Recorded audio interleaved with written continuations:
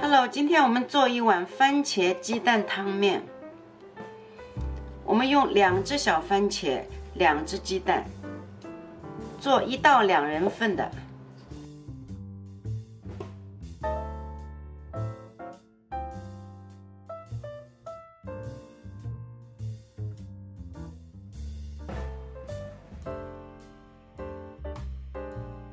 两个锅可以同时开火。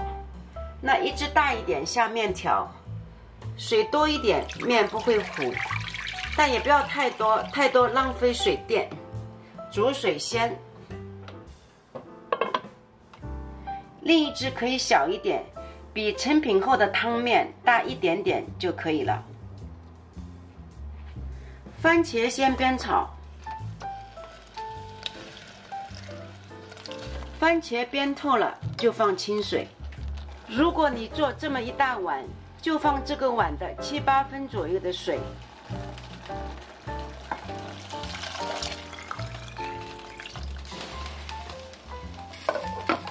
这边水开，先下面。做汤面不建议面放太多，会糊糊的，吃不到汤。那干面、湿面好都行。等到它面软软的，就移到番茄汤里再煮。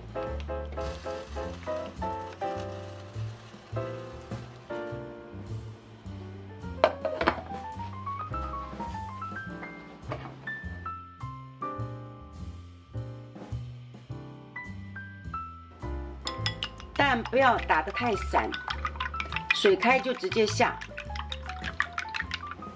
面汤开了，先撒一点盐，宁少勿多，因为到桌上你可以再补的。